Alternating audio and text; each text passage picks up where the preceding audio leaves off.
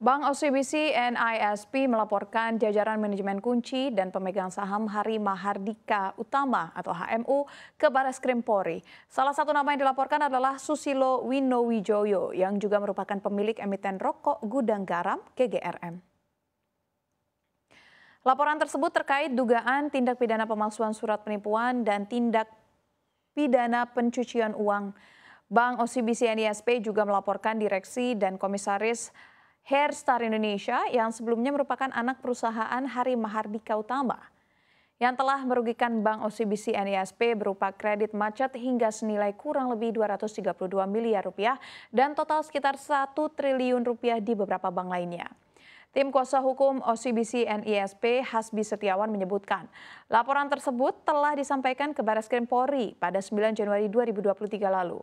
Laporannya itu terkait dugaan tindak pidana pemalsuan surat, penipuan, dan pencucian uang. Susilo Wonowijoyo sendiri merupakan anak dari Surya Wino Surya Wonowijoyo yang merupakan pendiri gudang garam. Sang ayah sebelumnya sempat meneruskan tongkat estafet kepemimpinan ke kakak Susilo, Rahman Halim hingga tahun 2008.